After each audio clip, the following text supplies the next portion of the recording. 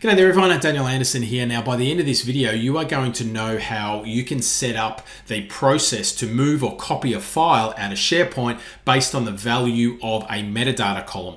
So think of the scenario where we've got a policies library where we're working on our policies and once this is approved and ready to publish, we want to move that to a location on the intranet. Now, traditionally, we would have had to have created some type of Power Automate workflow or process, maybe called in IT and that type of thing. Now, what I'm going to show you here is a really easy, lightweight way that you can actually get this up and running yourself. So let's dive into the scenario. We can see here I'm in my SharePoint document library. It's our working location. I've got my policies in here.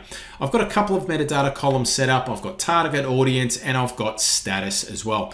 Now we're going to use the status column as our trigger.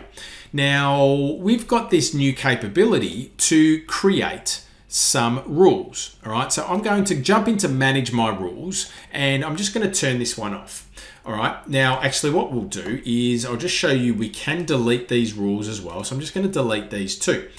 Then let's create a rule. I'm going to choose a file or take action when a file or metadata is mod modified. So we can see here that when a file is modified, if the status column changes and the value and the new value is ready to publish, I don't want to send an email. I now have these two. I've got the ability to copy a file to or move a file to.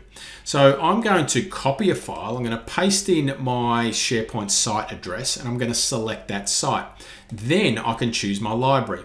I've got a library here called Published Policies. And if I flick across to my library, you can see there's my separate site. I've got my document library and I've got my target audience there as a column in this library as well. Now, let's take a look at the setup of this. So I'm going to go to column settings and I'm going to edit this. You'll notice that I've got autofill turned on. All right. So this autofill column here, I've entered a prompt. So it's going to read and analyze the document and extract the target audience and set the value automatically. So this process is going to, when it's ready to publish, it's going to copy this document, it's going to move it into this library, and using autofill, it's going to set this target audience automatically for us. All right. So let's jump across, and I'm going to create this rule.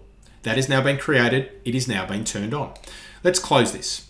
So let's have a look at our leave policy. So if I open up our leave policy, all right, you can see that there is our policy. Now let's jump back into policies. We'll open up another one. So let's go, maybe we'll go to this one here. All right, so let's have a look.